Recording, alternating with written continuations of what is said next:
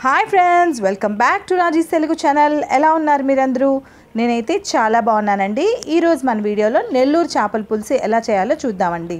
దీనికి కావాల్సిన ఇంగ్రీడియంట్స్ దీని తయారీ విధానం ఇప్పుడు చూసేసేయండి. ఈ పులుసుకు కావాల్సిన ఇంగ్రీడియంట్స్ అండి. ఇవైతే బేసిక్గా ఇంగ్రీడియంట్స్ ఏమేమి కావాలో చూపిస్తున్నాను. చేపలు వచ్చేసి నేను కట్లా చేప ఒక హాఫ్ కేజీ తీసుకున్నాను. బాగా కట్ చేసేసి బాగా క్లీన్ చేసేసి ఉప్పు పసుపు కారం వేసి బాగా ఒక వన్ అవర్ వరకు మ్యారినేట్ చేసి పెట్టాను. అలాగే రెండు ఆనియన్స్ తీసుకున్నాను ఉల్లిపాయలు రెండు నాటు టమాటోలు తీసుకున్నాను. అలాగే పచ్చిమిరపకాయలు ఒక పది పచ్చిమిరపకాయలు తీసుకున్నానండి. ఒక మామిడికాయ తీసుకున్నాను. ఇక్కడ నేను కలెక్టర్ కాయ తీసుకున్నా తోతాపరి అంటారు కదా ఆ మామిడికాయ తీసుకున్నా. అలాగే ఒక నిమ్మకాయ సైజ్ అంతా ఒక పెద్ద నిమ్మకాయ సైజ్ అంతా చింతపండు తీసుకున్నానండి. ఇది పాత చింతపండు కాబట్టి నల్లగా ఉంది. ఎప్పుడైనా చేపల పులుసుకి పాత చింతపండు వాడితే చాలా టేస్టీగా ఉంటుందండి పులుసు. అలాగే కాస్త కొత్తిమీర కరివేపాకు. ఇవి బేసిక్ ఇంగ్రీడియంట్స్. సో నేను చూపించిన ఆనియన్స్ ఇలాగా సన్నగా కట్ చేసి ఉంచేసుకున్నానండి. బాగా సన్నగా కట్ చేసుకుంటే బాగుంటుంది పులుసులోకి. అలాగే పచ్చిమిరపకాయలు కూడా రెండుగా ఇలా చీల్చేసి కట్ చేసి ఉంచుకున్నాను. కరివేపాకు కొత్తిమీర అంతా కూడా ఫ్రెష్గా కడిగి పెట్టుకున్నాను. చాప్ ముక్కలు అయితే ముందే నేను చెప్పాను కదా రెడీగా ఉంచేసుకున్నాను. అలాగే మామిడికాయ ముక్కలు కూడా ఇలాగ కట్ చేసి ఉంచుకున్నానండి. టమాటోస్ని కూడా నేను చాపర్లో వేసి చాప్ చేసి ఇలా సన్నగా చాప్ చేసి ఉంచుకున్నాను. అలాగే చింతపండు కూడా నేను నీళ్ళలో వేసి నానబెట్టి ఉంచేసుకున్నానండి.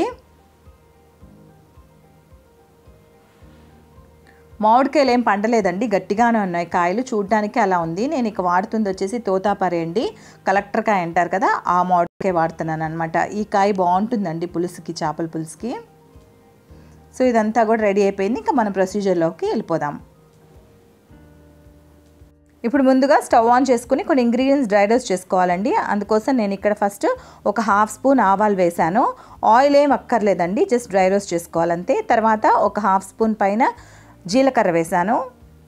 తర్వాత మెంతులు ఒక పావు స్పూన్ కంటే తక్కువ వేసుకోవాలండి. మెంతులు కూడా వేసుకుని ఇవన్నీ కూడా దోరగా మంచి స్మెల్ అరోమా వచ్చే వరకు ఫ్రై చేసుకోవాలి మనం. ఇలాగా డ్రై రోస్ట్ చేసుకోవాలి. చూస్తున్నారు కదండి ఈ కలర్ ఈ కలర్ వస్తే సరిపోతుందండి. ఇలాగా జస్ట్ ఒక గోల్డెన్ బ్రౌన్ కలర్ వచ్చే వరకు డ్రై రోస్ట్ చేసుకుని తీసేయాలి. ఇలా తీసేసింది నేను పౌడర్ చేసుకొని పక్కన పెట్టుకుంటానండి. పులుసులో వేయడానికి ఇది వాడుకోవాలి. ఇప్పుడు స్టవ్ మళ్ళీ ఆన్ చేసుకుని దీనిపైన నేను ఒక మట్టి పాత్ర పెట్టుకున్నానండి. ఇలాంటి మట్టి పాత్రలో చేసుకుంటే చేపల పులుసు చాలా టేస్టీగా ఉంటుందండి. ఆ రోజే కాదు నెక్స్ట్ డే తింటే కూడా ఇంకా టేస్ట్ ఎక్కువ ఉంటుందన్నమాట చేపల పులుసుకి. సో ఇప్పుడు నేను ఆయిల్ వేశాను. ఎప్పుడు కూడా చేపల పులుసు నాన్ వెజ్ ఐటెం చేసినప్పుడు కొంచెం ఆయిల్ ఎక్కువగానే పడుతుందండి. ఆయిల్ బాగా వేడైందండి. కొంచెం టైం తీసుకుంటుంది మట్టి గిన్నె కదా అందుకని ఆయిల్ వేడెక్కడానికి. సో ఇప్పుడు ఆయిల్ కాస్త హీట్ అయింది కదా ఇందులో నేను ఒక హాఫ్ స్పూన్ ఆవాలు వేస్తున్నాను. ఆవాలు కాస్త చిటపట్లాడిన టైంలో ఇప్పుడు మళ్ళీ నేను ఒక పావు స్పూన్ దీంట్లో మెంతులు కూడా వేస్తున్నానండి. ఈ మెంతులు ఆవాలు వేయడం వలన ఏంటంటే ఒక ఎక్స్ట్రా ఫ్లేవర్ ఇస్తుందండి పులుసుకి. సో ఇదంతా కూడా ఇలా వేయించుకుంటున్నాను. మనం వేసుకున్న ఆవాలు మెంతులు కూడా బాగా వేగిపోయినాయండి ఎర్రగా. ఇప్పుడు దీంట్లో నేను ముందుగానే కట్ చేసి ఉంచుకున్న ఆనియన్ పీసెస్ ఉల్లిపాయ ముక్కలు కూడా వేసేసి వీటిని కూడా ఇలాగా ఆయిల్లోనే వేయించేస్తున్నాను. నేను చెప్పినట్టు చేపల పులుసు నాన్ వెజ్ ఐటమ్స్ అలా చేసుకున్నప్పుడు కాస్త ఆయిల్ ఎక్కువగానే పడుతుందండి. ఆయిల్ ఉంటేనే టేస్ట్ వీటికి. సో ఇవి ఇది కొంచెం వేగిన తర్వాత దీంట్లో నేను కాస్త కల్లుపు వేస్తున్నానండి. కొంచెం తొందరగా వేగిపోతుంది ఆనియన్స్. సో కల్లుప్పు పేసిన తర్వాత ఈ పులుసుకి సరిపడా పసుపు కూడా వేసాను సో ఇదంతా కూడా ఇలా కలిపేసి వేయించుకుంటున్నాను కాసేపు. ఇవన్నీ కూడా కొంచెం పచ్చివాసన పోయే టైంలో దీంట్లో నేను ముందుగానే కట్ చేసి ఉంచుకున్న పచ్చిమిరపకాయ ముక్కలు కరివేపాకు కూడా వేసి ఇలా వేయించుకుంటున్నానండి. ఇవి ఇలా వేగుతుండగా ఇక్కడ నేను ఒక హాఫ్ స్పూన్ అల్లం వెల్లుల్లి పేస్ట్ కూడా వేస్తున్నాను. ఎక్కువ వేయకూడదండి. అల్లం వెల్లుల్లి పేస్ట్ ఒక్క హాఫ్ స్పూన్ సరిపోతుంది. సో ఈ అల్లం వెల్లుల్లి పేస్ట్ కూడా వేసాక కూడా కాసేపు ఇలా వేయించుకోవాలి. అల్లం వెల్లుల్లి పేస్ట్ పచ్చివాసన పోయేంత వరకు కూడా మొత్తం ఇలాగా అంతా కలుపుకుంటూ వేయించుకోవాలి. అల్లం వెల్లుల్లి పేస్ట్ పచ్చివాసన మొత్తం పోయిందండి. ఇప్పుడు నేను దీంట్లో నేను టమాటోస్ వేసుకుంటున్నాను. నేను టమాటోస్ చాపర్లో వేసి సన్నగా చాప్ చేసుకున్నానండి ఈ రకంగా. మీరు కావాలంటే టమాటోస్ని మిక్సీలో వేసుకుని మెత్తగా ప్యూరీ టమాటో ప్యూరీ కింద చేసుకుని అది కూడా యాడ్ చేసుకోవచ్చు. మనం వేసుకున్న ఆనియన్స్ టమాటోస్ పచ్చిమిరపకాయలు అంతా కూడా బాగా వేగిపోయినాయండి. చూసారు కదా ఇప్పుడు ఆయిల్ కూడా పైన తేలుతుంది. బాగా ఉడికిపోయినాయి మొత్తం మనం వేసుకుంది. ఒక గ్రేవీ లాగా ఫామ్ అయిపోయింది చూడండి. ఈ స్టేజ్లో ఇక్కడ నేను కారం వేస్తున్నానండి. ఒక నాలుగు స్పూన్స్ ఫోర్ స్పూన్స్ కారం వేస్తున్నాను. తర్వాత పచ్చిధనియాల పొడి కూడా ఫోర్ స్పూన్స్ వేస్తున్నాను. ఈక్వల్గా పచ్చిధనియాల పొడి కారము ఈక్వల్గా వేయాలండి. కారము ఎక్కువ ఉంటేనే బాగుంటుందండి ఎప్పుడైనా సరే చేపల పులుసుకి. ఆ పులుపుకి సరిపడా కారం ఉంటేనే టేస్ట్ అనమాట పులుసు. సో ఇదంతా కూడా పచ్చివాసన పోయే వరకు బాగా అలా వేయించుకోవాలండి.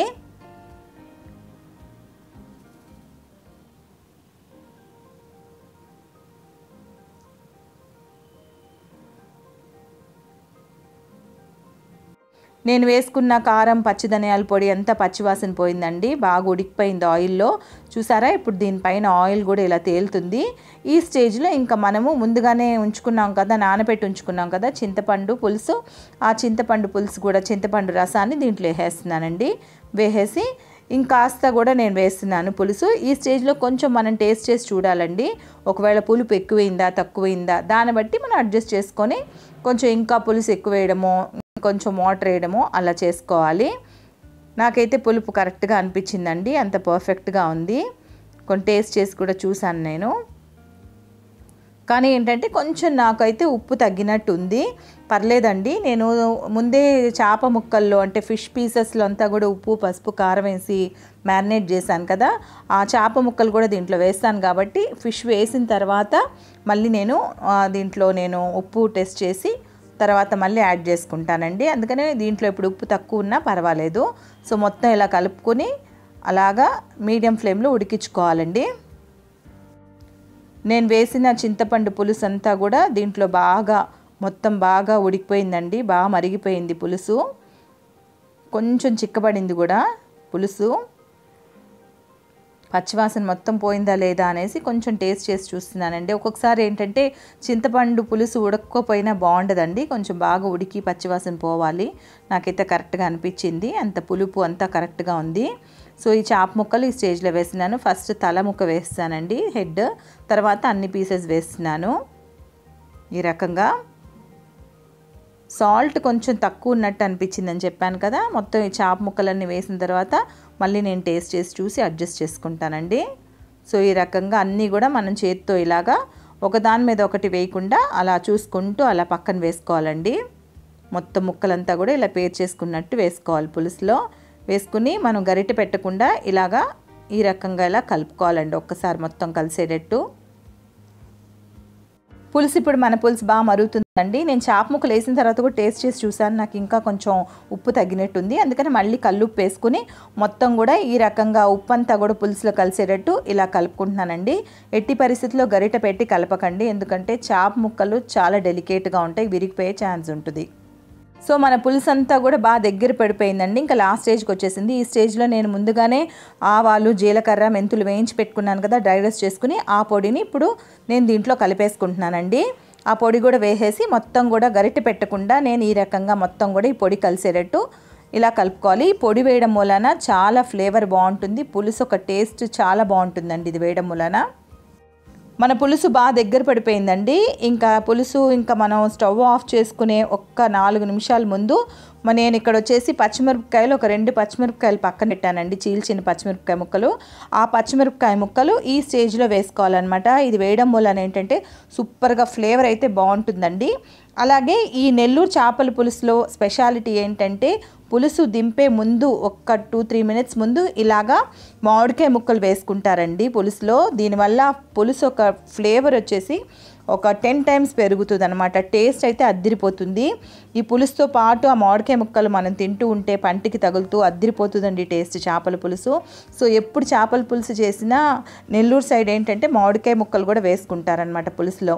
అది కలెక్టర్ కాయ వేయడం వలన సూపర్ టేస్ట్ ఉంటుందండి. ఎందుకంటే కలెక్టర్ కాయ అంటే తోతాపరి మామిడికాయ అంటారు కదా దాన్ని. దాంట్లో ఏంటంటే కొంచెం తీపి పులుపు కలిసిన ఒక టేస్ట్ ఉంటుందన్నమాట. ఆ మామిడికాయల్లో సో అది ఈ అలాంటి ఒక కాయ దీంట్లో వేసామనుకోండి అద్దిరిపోతుంది అనమాట టేస్ట్. అండ్ ఈ మామిడికాయ కూడా బాగా ఉడకక్కర్లేదండి. ఒక్క టూ త్రీ మినిట్స్ ఉడికితే చాలు బాగుంటుంది. క్రంచీగా ఉండాలన్నమాట మామిడికాయ పీస్. అంతేనండి మన నెల్లూరు చేపల పులుసు రెడీ అయిపోయినట్టే. మనం మామిడికాయ ముక్కలు వేసుకున్న తర్వాత ఎక్కువసేపు దీన్ని మరగనివ్వకూడదండి. ఇంకా లాస్ట్ అండ్ ఫైనల్గా దీనిపైన నేను కొత్తిమీర కరివేపాకు జల్లేసుకుని గార్నిష్ చేసేసుకుని ఇంకా స్టవ్ ఆఫ్ చేసేసుకుంటున్నానండి.